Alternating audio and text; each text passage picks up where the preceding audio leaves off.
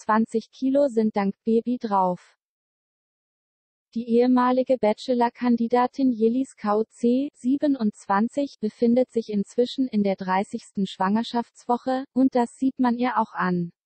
Ihre krasse Verwandlung in dieser Zeit dokumentiert sie nun mit einem Vorher-Nachher-Foto. So groß ist schon ihre Babykugel.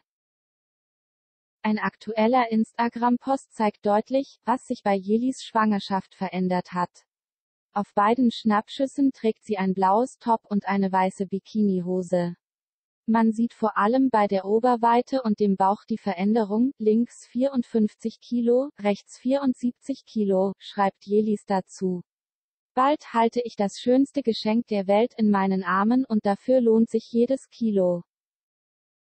Süßer Hingucker Schwangere Jelis KOC teilt 3D-Aufnahme ihrer ungeborenen Tochter mit ihren Fans.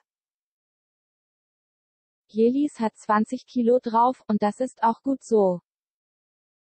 Anfang Juli hatte Jelis verraten, dass sie bereits 16 Kilo zugenommen hatte. Bei einer Körpergröße von 1,70 Meter wog sie zu dem Zeitpunkt 71,5 Kilo. Schon da verriet sie, ich merke es überall. Ich habe sonst in Klamotten in XS und in 34er Hosen gepasst.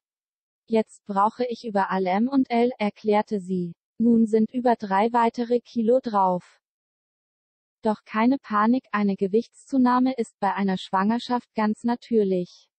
Das Baby wächst stetig weiter, einige Frauen haben dazu Wassereinlagerung. Da Jelis während der Schwangerschaft wegen ihrer starken Übelkeit auch einige Kilo verloren hatte, ist sie höchstwahrscheinlich mit den 20 Kilo voll im gesunden Rahmen.